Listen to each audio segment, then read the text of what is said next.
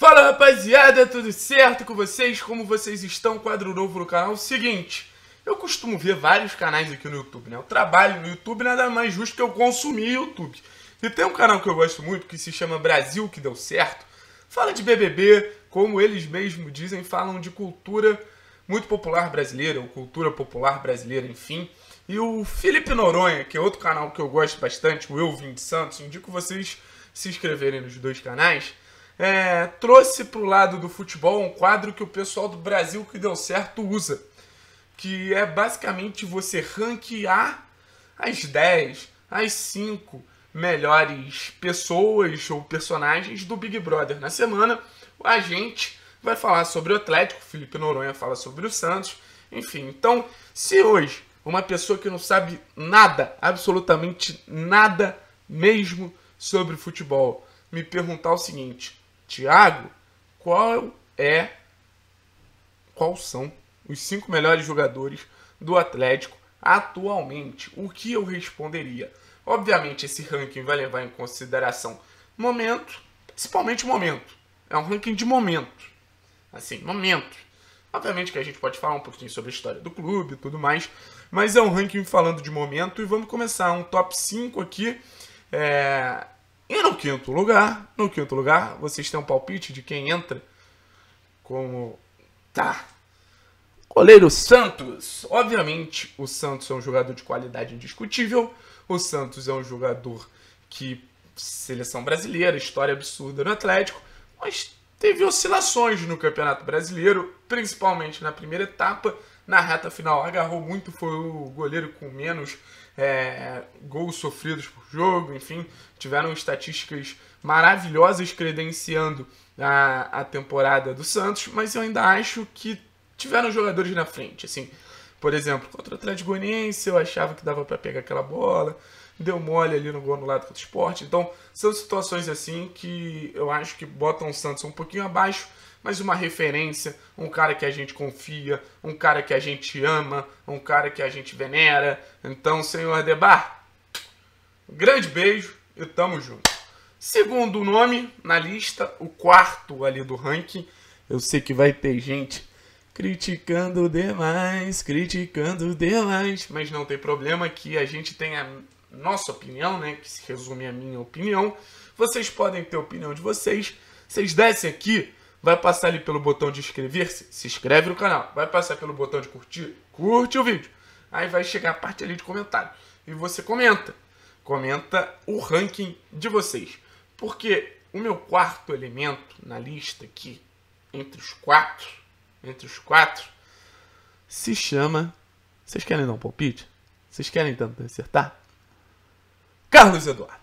Carlos Eduardo um jogador que cresceu muito, um jogador que ainda não conta com 100% da simpatia da torcida do Atlético, mas é um jogador assim extremamente diferenciado no nosso sistema ofensivo, talvez não pela sua não sei se técnica é o termo certo, mas é um cara que se dedica, é um cara que, porra, tá em todas as bolas, é um cara que participa de gols, é um cara que vem melhorando muito seu jogo, tanto jogando por fora quanto jogando por dentro, vem virando um atacante mais completo, ajudou muito o Atlético nessa reta final de campeonato com gols, assistências, criando chances.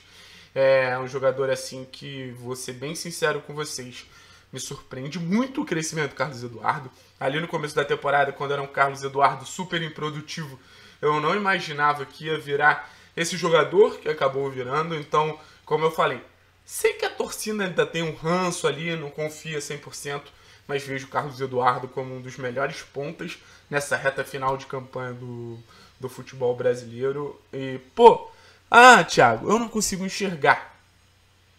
Pô, velho, desculpa. Pega um vídeo ali dos melhores momentos de Carlos Eduardo, vê os melhores momentos do Atlético. Como o Carlos Eduardo tem influência nas ações ofensivas do time. Como o Carlos Eduardo tem envolvimento em tudo que acontece seja puxando uma marcação, seja cruzando uma bola, seja finalizando, seja driblando, seja dando uma assistência. Então acho que a gente precisa valorizar mais Carlos Eduardo, porque é um jogador muito, muito, muito, muito útil, muito esforçado, muito querido por mim e, como eu sempre falo, tá na minha lista de xodóis. Terceiro nome, né? Terceiro nome, terceiro nome da lista ali para fazer a nossa meiuca. Primeiro Santos, quer dizer, quinto Santos, quarto Cadu, terceiro. Tô em dúvida entre dois nomes, cara. Tô em dúvida entre dois nomes, mas vou falar de Thiago Heleno. Thiago Heleno é um cara que certamente é um dos melhores zagueiros do Brasil. Certamente é um dos melhores zagueiros do Brasil. Não tem o valor que merece, tanto a imprensa, às vezes até mesmo da torcida, a torcida do Atlético. É, enche o saco do Thiago Heleno quando ele fala em um lance e outro, mas, cara, se a defesa do Atlético teve o rendimento que teve, muito se dá pelo Thiago Heleno. Desempenho de Santos muito se dá pelo Thiago Heleno. Desempenho de Pedro Henrique muito se dá pelo Thiago Heleno. Desempenho do Abner muito se dá pelo Thiago Heleno. Porque ele é um líder, ele orienta, ele gerencia aquilo lá tudo. Thiago Heleno pegou a defesa do Atlético e falou: Isso aqui é meu, isso aqui é meu. E como um bom dono de negócio, fez o seguinte: vou organizar absolutamente tudo. Então, é, eleva o potencial dos seus companheiros, participa de gols. Contra o Atlético Goianiense, meteu um gol, começou a jogada do outro fazendo um belíssimo lançamento. Então acho que a gente deveria, pelo menos deveria, dar mais valor ao capitão Thiago Heleno, jogador que está na história do clube, fez talvez o gol mais importante da história do Atlético, o gol do seu título internacional. Merece ser valorizado e merece ser destacado nessa lista, destacado. Ah, Thiago, mas você botou o Thiago Heleno em terceiro? Quem será que tá em segundo? Aí que eu vou surpreender vocês novamente. Aí que eu vou surpreender vocês novamente. Big Nick. Michael. Cara, o Nicão, assim como a maioria da equipe, cresceu muito na reta final, né? E mais do que crescer tecnicamente, o Nicão teve uma melhora absurda na questão de protagonismo. Vejo o Nicão entendendo o papel dele mas para a reta final ali, os números mostram aproveitamento sem Nicão é um, aproveitamento com Nicão é outro. É um jogador que, assim como o Thiago Heleno potencializa seus companheiros, potencializa o Kaiser, potencializa é, o Carlos Eduardo, potencializa o Canizinho. Então é um jogador setorial ali. O setor que o Nicão tá, a galera costuma jogar bem, muito pelo trabalho que o Nicão faz como facilitador e tudo mais fez uma reta final muito boa de temporada, uma reta final muito boa de temporada, jogando mais como esse camisa 10, centralizado, voltando, buscando jogo. Contra o Grêmio chegou a jogar até de referência e trouxe perigo para a equipe gaúcha. Então, tô aqui com o coração apertadinho, tentando descobrir se o Nicão sai, se o Nicão não sai. Mas o que eu posso falar para vocês é o seguinte: jogou muito e tomara que fique. Tomara que fique demais. Ele é o segundo nome da lista, né? Então a lista tem como segundo Nicão, terceiro Thiago Heleno, quarto Carlos Eduardo, quinto Santos. E o primeiro vocês sabem, né? O primeiro eu não preciso nem falar aqui, que eu tenho certeza que vocês sabem. É ele, pô. É um dos melhores laterais sub-21 da Terra. É o cara que está em todas as listas de estudos de pesquisas como um dos jogadores com mais potencial no mundo. Se você aí ainda não valoriza Abner Vinícius, chegou a hora. Chegou a hora porque depois você vai se lamentar demais.